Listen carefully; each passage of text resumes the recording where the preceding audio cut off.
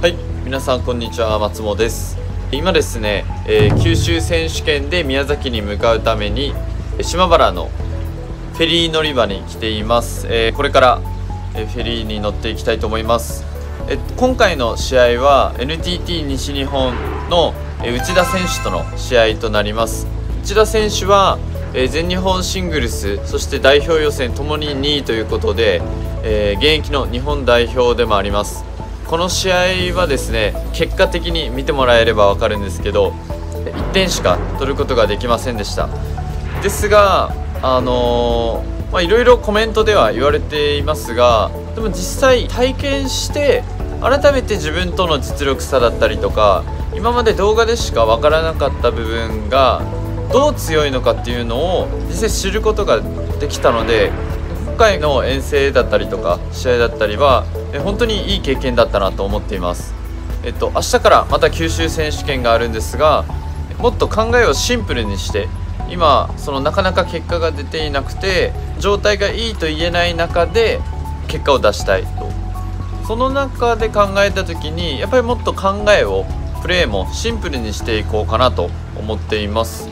動画に入る前に一つだけお知らせをさせてください。えー、現在クラウドファンディングを実施しています。目標金額は50万円だったんですが、えー、50万円はありがたいことに達成することができました。続いてですね今後の活動資金をより充実させたものにするために、100万円を目指して継続しています。残り1週間となりました。支援していただいたお金を使って今後の活動であったり遠征であったりに、使いたいと思っています。どうぞ応援よろしくお願いしますそれでは動画に行きましょうどうぞ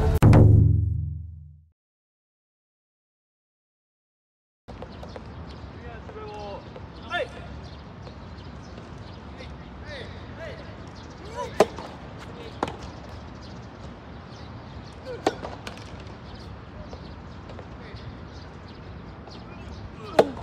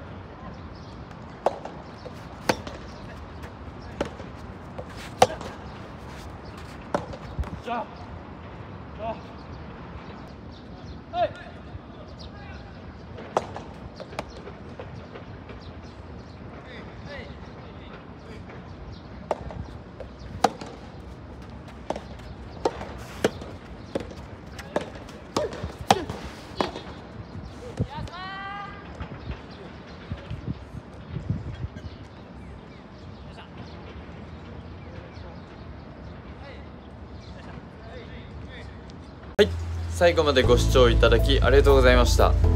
今回の試合ではですね内田選手の配球であったりこう攻めさせない工夫であったりっていうのを感じることができました。ただもう少し自分の自滅のミスを減らさないとより深い部分だったりとか本当の強さっていうのが